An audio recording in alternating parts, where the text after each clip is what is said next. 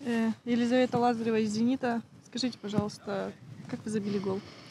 А, Я помню только последнюю часть, потому что я потом была в какой-то эйфории после забитого мяча. А ты все потом э, 80 минут была в эйфории? Нет, нет, нет, нет.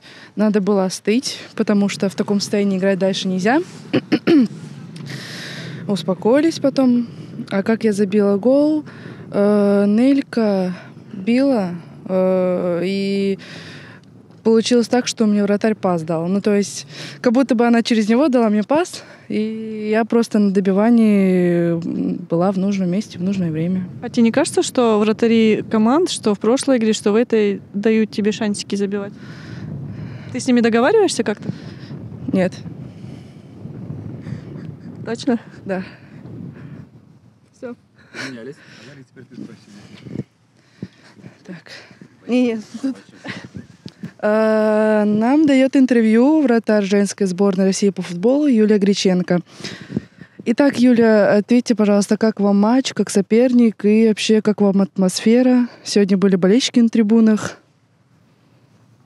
Здравствуйте, Елизавета.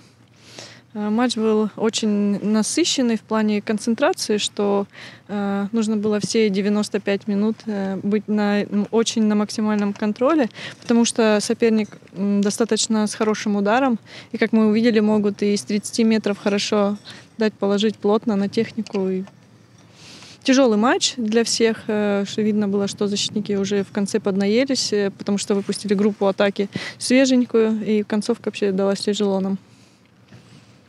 Как вы рассчитываете выиграть финал? Рассчитываю, что Лиза Лазарева договорится с вратарем соперника. Он ей скинет пас, и мы еще раз забьем. И не пропустим. Вот мы и победили. Спасибо вам большое, поздравляем вас. Спасибо и вас тоже с победой. Всем пока.